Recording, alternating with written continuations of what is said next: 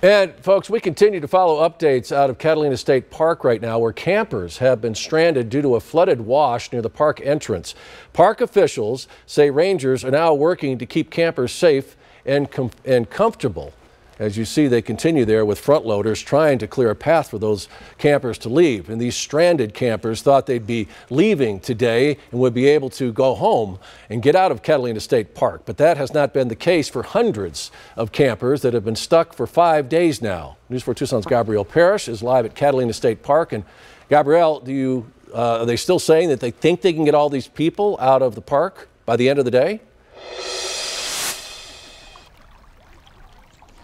Sean, their situation didn't improve by much today. And no, they will not be able to go home tonight. As you can see, there's still a lot of water. And the only way campers are able to get out is if they're driving a big truck straight through the water or they're walking right through the water, just like how I'm doing right now. So the park manager tells me that it's more so that the mud is the problem, making it difficult to drive through.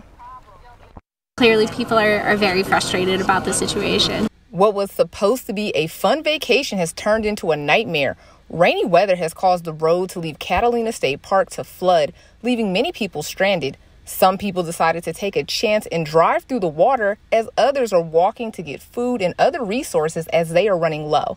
We're on our way to go get my heart medication. I thought it'd just be a, a, a day or two. Now it's starting to worry me that uh, running out of food, uh, running out of propane, and no clear idea when we might get out of here. So far, this construction vehicle has been shoving dirt and water back and forth in hopes to get the road clear, but that's not working. People tell News 4 Tucson they're upset that nobody else has come to rescue them. No communication. We don't really know what's going on. And, and that little communication would go a long way. That, and from what I see, I mean, not against the park ranger, the man in charge, but if you're not really an expert on doing what you're doing is moving the water and get somebody get some help and they haven't done that from what we see. It seems like this is something that has happened before in the past and where is maybe the funding or the resources being prepared for the inevitable flooding so oh this has been a nightmare for many some people are actually having fun well there's a lot of people um, stranded here so well, we're meeting a lot of friends, so it's pretty awesome.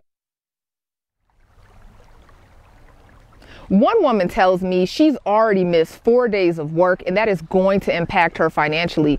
The state park is hoping to get everybody out by tomorrow, but that is unknown right now. Reporting live from Catalina State Park, Gabrielle Parrish, News 4 Tucson.